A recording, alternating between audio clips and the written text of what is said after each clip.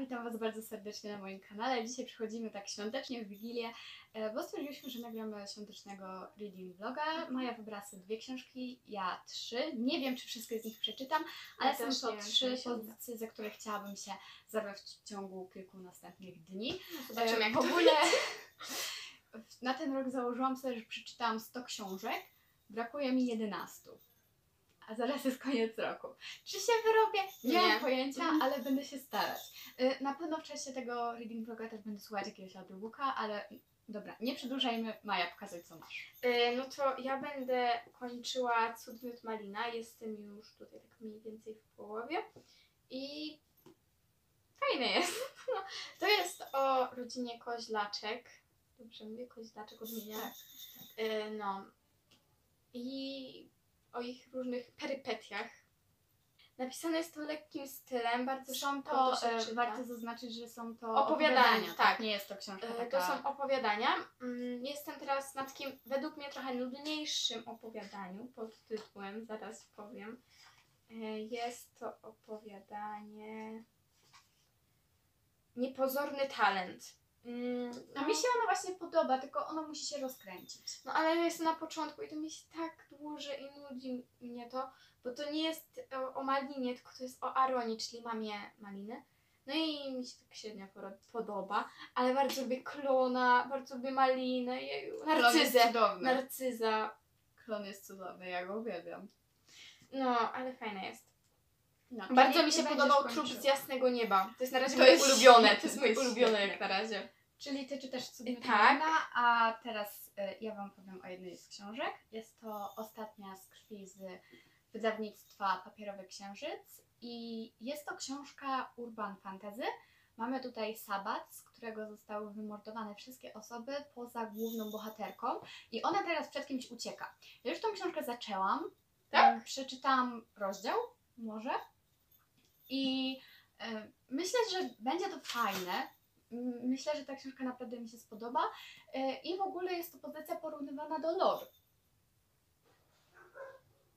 A. Dobra, e, więc. Ej, to ja, ja to chcę przeczytać. Tak. Jak to jest podobne do lore? No, No, tam moją recenzję tej książki znajdziecie tutaj. tak, podlinkuję. Podlinkuję. Y, nie wiem, mam nadzieję, że ta książka będzie naprawdę fajna, że będzie tu dużo akcji. No i to w sumie tyle. Mam wobec niej oczekiwania, więc mam nadzieję, że ona mi się spodoba. Może będzie fajnie. Dajesz. E, No to drugą książką, którą sobie wybrałam jest Stax. Czytałam to fajne. Znaczy, pierwszy tom jest fajny, ale drugi jest E, No jest to thriller nie, młodzieżowy. młodzieżowy właśnie, bo nie wiedziałam, czy to jest młodzieżowe. E, No to jest właśnie thriller młodzi- młodzieżowy. No nic praktycznie o tym nie wiem takiego o fabule. Karolina mi coś tam gadała, ale zapomniałam już. Znaczy, Mhm. generalnie może ja opowiem o tej książce. Ym, mamy tutaj szkołę, prestiżową szkołę, prywatną szkołę ym, i są jakieś takie ferie trzydniowe, na które wyjeżdżają do posiadłości jednego z tam głównych, wiesz, ziomków takich, no. Ja jestem najlepszy. No i y, ta główna bohaterka zostaje tam zaproszona i dzieją się tam dziwne rzeczy i dochodzi do morderstwa.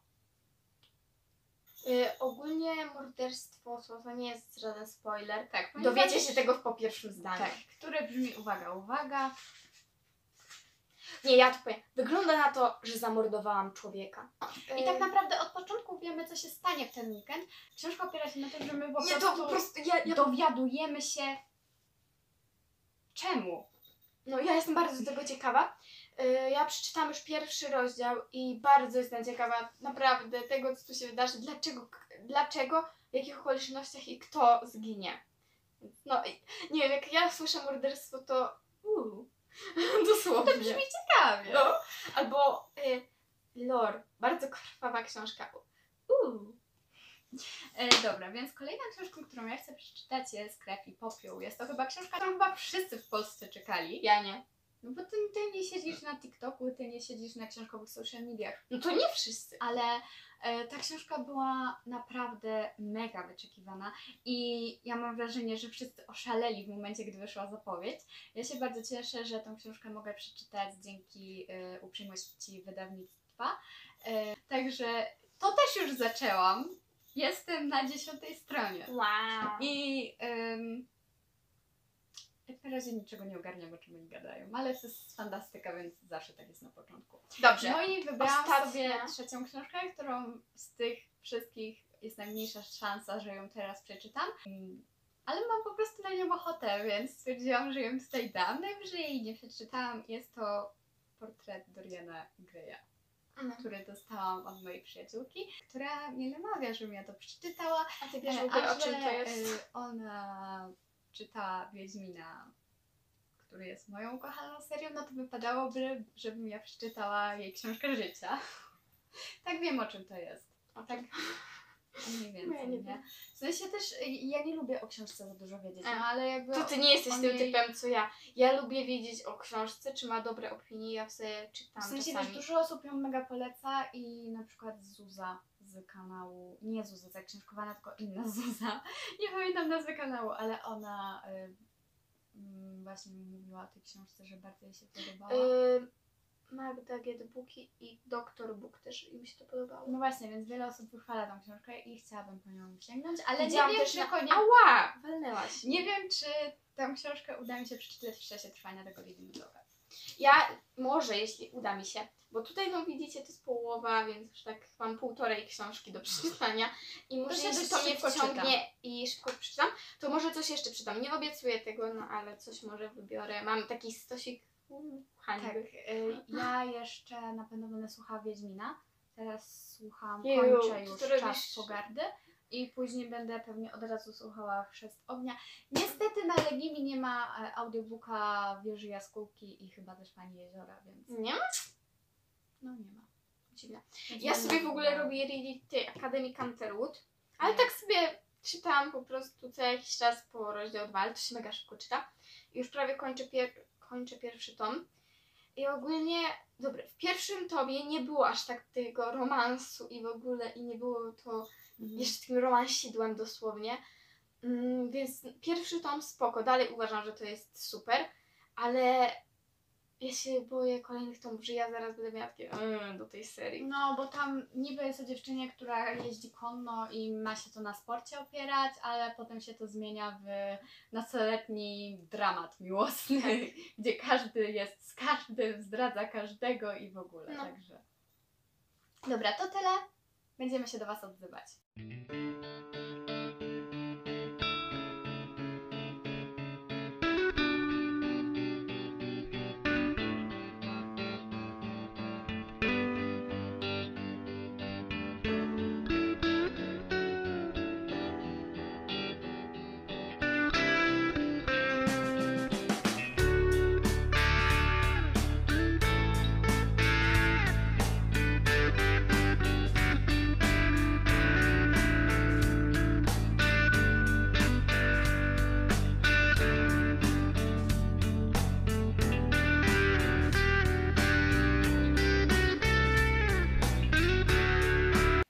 Przechodzimy z pierwszym update'em i Maja zacznie, bo Maja skończyła czytać E, książkę. Tak, dokończyłam wczoraj Cudmiód Malinę i bardzo mi się podobała. Nawet to opowiadanie, co uważam, że jest takie nudne, to y, pod koniec było już ciekawe, kiedy tak, Mówiłam, że musi się rozwinąć.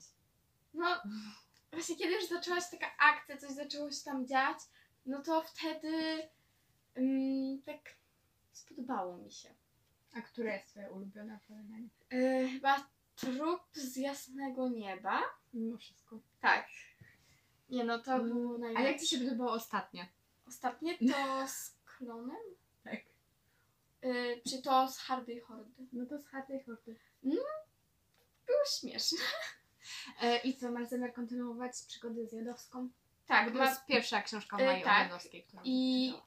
ona ma tak luźny i taki przyjemny do czytania Mhm. Styl. właśnie, mm, że przez tą książkę w ogóle nie ma czegoś takiego, że nawet jak jest nudniejszy fragment, To to, się przez nią to się nie męczy człowiek, To że prawda. Nawet jak był. No i to było w połowie książki i też mi to jeszcze tak przerażało, że ojej, zostało mi tyle, a teraz takie nudne to się zaczęło. To nie, nawet tak bardzo szybko to się czyta. Oceniłam to ogólnie na 9 na 10 gwiazdek. No. I recenzja pewnie kiedyś, może za trzy miesiące pojawi się No. na Mai Bookstagramie. Tak. E, no. jestem tutaj. No i wybrałam Ostatnia. sobie trzecią książkę, którą z tych wszystkich jest najmniejsza szansa, że ją teraz przeczytam. Ta. Tamtych książek nawet nie ruszyłam, za to zabrałam się za Doriana i Prawie, że prawie, że go kończę i naprawdę mi się ta książka podoba, chociaż początkowo miałam straszny problem z nią, bo ona się składa z dialogów i monologów. Po prostu to już w pewnym momencie miałam dosyć tego ciągłego gadania. Na szczęście teraz jestem na momencie, gdy tych dialogów przez jakiś czas nie ma. Mm. Z tą książką jest tak, że na jednej stronie pojawia się jakaś myśl, z którą się totalnie zgadzam, po czym dwie strony dalej któryś z bohaterów gada takie głupoty, że mam ochotę tą książką rzucić. W ogóle jak już jesteśmy przy Dorianie, to Wam pokażę jaką ładną zakładkę. Moja przyjaciółka robiła. I mam jeszcze dwóch innych panów. I z tyłu są też cytaty. Tak. Nie wiem, czy to widać. No, chyba nie będzie tego widać. Nie, bo się światło odbija. No. No, ale są tutaj cytaty. No i mam drugiego Oscara Wilda, tylko że tutaj jest po angielsku. To jest on! Ja nie wiedziałam, ale rzeczywiście, no tam masz dobre. Nieważne, nieważne, nie! Dzisiaj zaczęłam słuchać Wiedźmina. Znaczy, kontynuowałam słuchanie Czasu Pogardy. Jestem teraz na wątku Cyrilli na pustyni, który jest w cholerę nudny. Zostałam jakaś godzina 40 do końca tego Tak, tomu. ona mi się żaliła, że ale to jest nudne. Ej, matki, jak to Karolina Wiedźmin? Nudny? Jakby to jest moja ukochana seria, ale są tutaj fragmenty, które są po prostu nudne i rzeczy, które też nie mają sensu Nie no, tak tak samo. Jakby ja nie podchodzę do tej serii tak wiesz, bezkrytycznie. Wiem, że ona Ja nie jest idealna, ale ją po prostu uwielbiam, uwielbiam ten świat, uwielbiam tych bohaterów. Mm, Myślę, że skończę dzisiaj ten czas pogardy i się zabiorę za chrzest ognia. Też być może wieczorem. No bo tam 180 stron. I potem zabiorę się chyba za ostatnią z krwi, bo jakoś do tego Zobaczymy. mnie bardziej ciągnie. E, no dobra, bo ty jeszcze chciałaś ostatnio Tak. powiedzieć. E, Ja, tak jak mówiłam, będę się brać. Tak, jestem już w połowie, prawie że. Zaczęłam to dzisiaj. Jest to ciekawe. Jestem bardzo ciekawa, kto zginie. W sensie, jakby to już wiadomo. Było na pomniku. Ale w jakich okolicznościach? To mnie bardzo ciekawi. Jest y, to napisane takim stylem bardzo przystępnym. Nie męczę się z tym, mimo że trochę zaczyna to być nudne i rozwleczone. Jakby większość tej książki, nie? To są opisane trzy dni. No, A ona ma ile? 300 coś stron. 360. No. Ale y, mam coś takiego, że nie potrafię jakby ocenić bohaterów. Oni z jednej strony wydają się tacy płytcy i nie mają takiego Mhm. określonego charakteru. Tak, oni są, zwłaszcza ludzie średniowiecza, oni są jak taka masa ludzi, która by miała jeden rozum Tak, i oni się niczym totalnie nie wyróżniają. To są tacy bohaterowie, gdzie po prostu cię czytam i ma się takie, aha. Nie no, ale po prostu nie, ja nie lubię jak tacy są chara- y, Mało tak, ma, mało charakterystyczni, bo ja lubię kiedy mm, nawet bez podania im imienia, imienia, Imienia. właśnie, imienia danej postaci, ja potrafię wykryć na przykład kto to mówi po charakterze jego, a nie, że tutaj po prostu Tak, ktokolwiek by mi powiedział ja bym powiedziała, że mogła strzelać po prostu i liczyć na to, że ja trafię. Tak, a za to główna bohaterka, jak dla mnie, ja to czytałam kilka miesięcy temu, była w cholerę irytująca. No, jest, w sensie na początku była ok, ale mnie też na przykład, nie wiem, troszeczkę denerwuje, jak tu jest wiecznie przytaczanie jakichś scen do filmów jakichś. No, mi się akurat to podobało. A mnie to trochę denerwuje, bo niektórych czasami po prostu jest rzucone, że przypomina mi to film taki i taki, a nie ma wyjaśnione dlaczego, a ja mogę tego filmu nie znać. I to jest takie, ja mam... mm, No, i ona wiecznie o tych filmach, filmach, filmach. I też mnie denerwuje tutaj to, że zawartość człowieka i nas, tam nastolatkowie sobie wyznaczają, że ty jesteś okej, ty nie, po tym jak zarabiają ich rodzice, kim są ich rodzice. No i w ogóle tak- tutaj mamy do no. czynienia z czymś mega dziwnym, bo mm, szykanowani są ci, którzy używają telefonów, Tak. którzy są na czasie, No. a ci, którzy właśnie starają się żyć w zgodzie z dawnymi wartościami czy zasadami, Są są fajni. fajni, tak. Ale no to jest takie. mm, No też okej, rozumiem, można nie lubić tych takich nowych technologii. No ale Ale mamy XXI wiek No. i tutaj nastolatek śmieje się z drugiego nastolatka, że ktoś ma Facebooka i Instagrama. I w tej No. książce to było takie. Okej? No i y, jeszcze wyśmiewają jedną osobę za to, że jej tata jest producentem telefonów i w ogóle. No właśnie. Więc możliwe, że to dzisiaj skończę, ale no nie wiem, bo A jak skończysz, to za co się zabierzesz? Nie wiem. Na pewno nie, nie za drugą część od razu. Szkoda, bo druga część jest moim zdaniem Ale- lepsza. I ma. Tak jak to jest thriller młodzieżowy, i ja jestem osobą, która jest strasznie Ja też. bojaźliwa. Ja nie... Tak na tej książce nic się nie bałam, a większość tych zwrotów akcji, czy jak to jest, Tutaj z niejednym zwrotem akcji, przewidziałam już dużo wcześniej. Za to w drugim tomie, w drugim tomie naprawdę się dzieje. I naprawdę momentami czuła się taki dreszcz na plecach. No ja na pewno wiem, że tutaj mm, to nie, może nie być nic strasznego, ale ja nawet nie lubię jak jest. Ja już mam, się stresuję, naprawdę, jak jeszcze lubię bohatera, tu akurat tak niezbyt, ale jeśli tylko coś się dzieje, jest ciemno, coś takiego zaczyna się dziać, nawet jeśli z tego nie wyniknie nic złego, to ja już mam takie. Więc ja wieczorem na pewno nie chcę, nie będę chciała tego czytać i jeśli nie, nie skończę tego do wieczora, to nie będę wtedy w nocy tego czytała, tak jak Cud Myt Malinę kończyłam po pierwszej, bo bardzo mi się tak podobała, to tego bym w życiu nie kontynuowała po tej godzinie, bo ja bym potem miała... No. Ale nie... Na pewno będę chciała kontynuować tą serię, ale na razie nie ciągnie mnie do tego, żeby od razu, tak od razu czytać. Tak jak z innymi seriami tak mam, że dobra, od razu kolejny tom. Nie no, ja muszę wiedzieć, co tam się dzieje. To tutaj na razie tak nie Możliwe, mam. że tak będziesz miała po zakończeniu. No. Ja przyznam szczerze, że miałam tak, ponieważ ta książka kończy się w takim momencie, że jest po prostu jakby urwana akcja. W ogóle tutaj podoba mi się to, aczkolwiek to jest takie czasami dziwne, bo kończy się rozdział, a następny zaczyna się od tej samej sytuacji. Tak, i tak samo jest z tomami.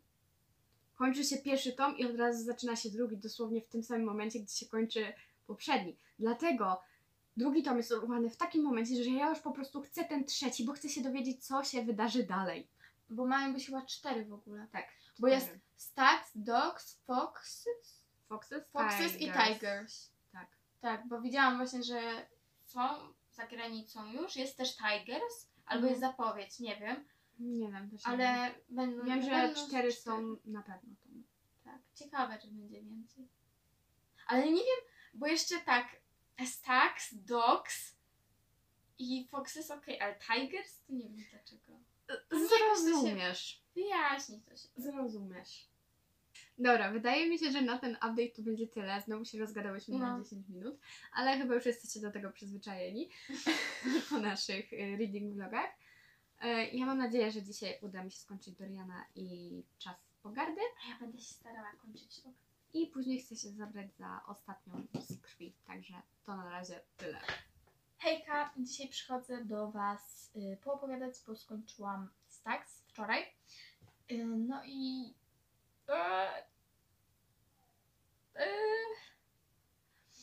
Oceniłam na 7 y, gwiazdek i była ok, tylko w pewnym momencie już była nudna. Po prostu ja czekałam na to. Hejka? Czekałam na to y, rozwiązanie akcji i w ogóle. Mega długo się na to czeka. Tak, i tak od gdzieś z tyle to już było takie nudne, nawet z tyle, o. To było po prostu takie nudzenie już w kółko tym samym, no okej, to jest ważne wszystko, no ale ja byłam ciekawa po prostu, co się stało. I jak to się stało. Zakończenie, Karolina mówiła, że po tym jak skończyła, to miała ochotę tak drugi tom. Ale ja tak nie mam i w ogóle nie rozumiem trochę tego, po co są kolejne tomy, bo według mnie akcja się zawiązała. No okej, wyszły pewne komplikacje, ale no, dla mnie ta akcja już jest zakończona.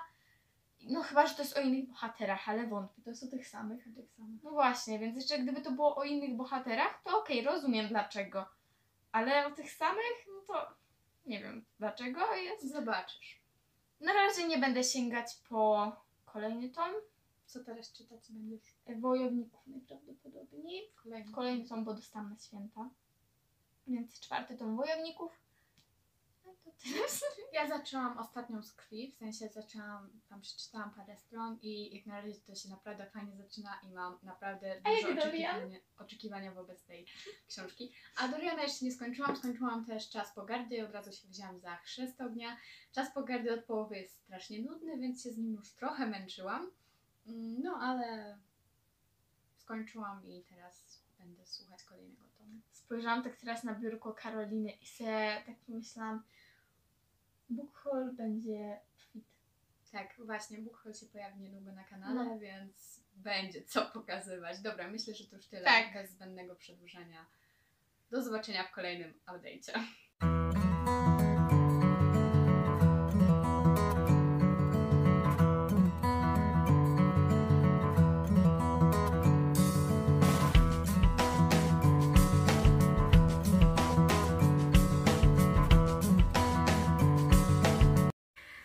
Hejka, przechodzimy do Was z ostatnim update'em w tym reading vlogu. E, Zaraz się dowiecie, jak nam poszło czytanie.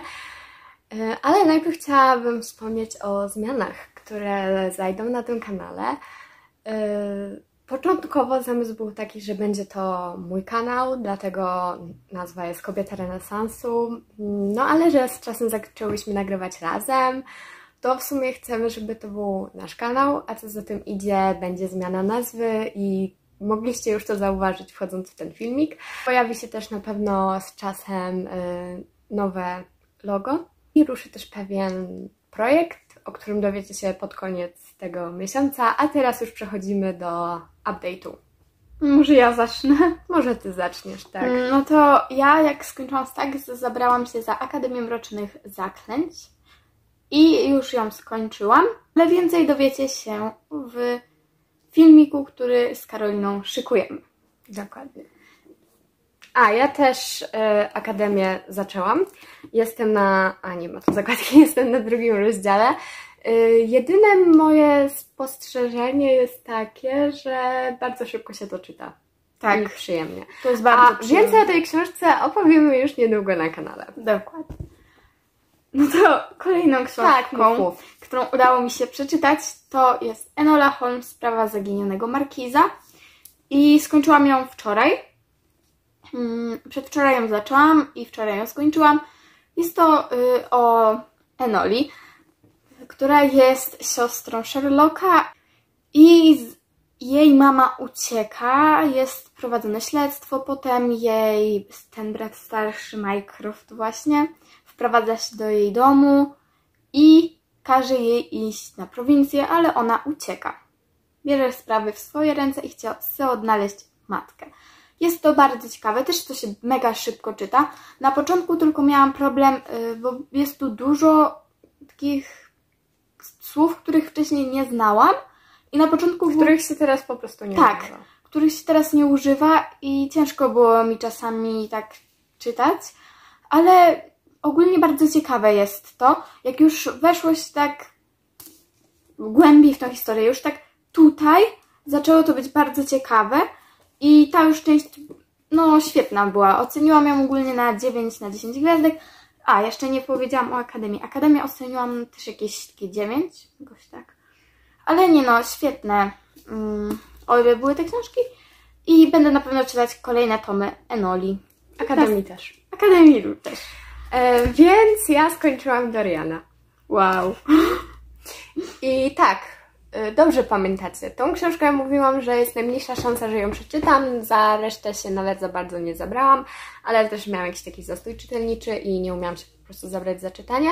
Y, Zaczęłam też Chrzest Ognia w audiobooku, czyli to jest trzeci tom Nie sagi i piąty, jeśli wliczając w te opowiadania. E, No, co powiedzieć o tej książce? Jest ona genialna i myślę, że powinnam czytać więcej klasyków. E, Dałam ją, jak mogliście zobaczyć, do najlepszych książek 2021. W sensie wspominałam o niej i bardzo dobrze, bo gdybym tego nie zrobiła, to teraz bym była wkurzona, że ta książka się tam nie znalazła. Skończyłam ją wczoraj i. W końcówkach tego roku. Domyśliłam się zakończenia, ale mimo wszystko myślę, że ta książka jest po prostu genialna i warto po nią sięgnąć. Generalnie, jak to skończyłam, napisałam od razu do przyjaciółki, ona się mnie pyta i jak, a ja po prostu nie byłam w stanie zebrać myśli. I myślę, że nadal za bardzo nie umiem, by o tej książce powiedzieć. Na pewno jest to jedna z lepszych w zeszłym roku i może na tym skończmy. To ja jeszcze Wam opowiem o trzeciej książce, który jest to Ucieczka z Krainy Czarów. Trochę się na niej zawiodłam. Jestem w połowie i spodziewałam się czegoś lepszego. Aha. No, bardzo ciężko to się czyta, bo może bym to nawet już skończyła, ale to jest tak trudny, nawet nie tyle, że trudny, tylko taki nieprzystępny w ogóle styl pisania, że ja się męczę to czytając. I ogólnie no, sama fabuła też jakoś taka jest. Na przykład mnie wkurzało tak z 11 rozdziałów, nie no mniej, ale z 8-9 rozdziałów zaczynało się kiedy zegar wybił godzinę. I, no ale w ogóle te rozdziały są krótkie, no dobra, ale to się tak źle czyta. W ogóle mnie też to nie obchodzi trochę, co się tutaj dzieje, ale chcę przeczytać może coś, coś, coś zmieni się moja opinia, no ale ja nie wiem, o czym, co jeszcze nam może się wydarzyć. Jest bardzo nudne to jak na razie. No dobra, no to chyba zaczęłaś książkę. Książkę. Zaczęłaś rok od niefajnej książki. Masz No. tego pecha. Ja na szczęście zaczęłam z Wiedźminem, więc co tu wiele mówić. E, Myślę, że to jest koniec tego reading vloga i co, żegnamy się z Wami. E, Wszystkiego najlepszego i samych dobrych książek w tym roku. No i co? Jak widzicie, Mai szło dużo lepiej w czasie tego reading vloga. Ja niestety wpadłam w jakiś zastój czytelniczy. Mam nadzieję, że się wkrótce odblokuję, bo mam ambitne plany na ten rok i chciałabym go zacząć z przytupem, zanim matura mnie Ale jej przybije. Skoro zaczęłaś z zastojem czytelniczym, to to nie świadczy dobrze. Ale zaczęłam z Wiedźminem, słucham go w audiobooku. No ja zaczęłam od nie za bardzo fajnej książki. Y, Dobra, my się z Wami żegnamy. Jak zwykle zachęcamy do wchodzenia w linki poniżej, do zostawienia łapek w górę i subskrypcji kanału. I myślę, że to tyle, jeśli chodzi o ten filmik. Cześć!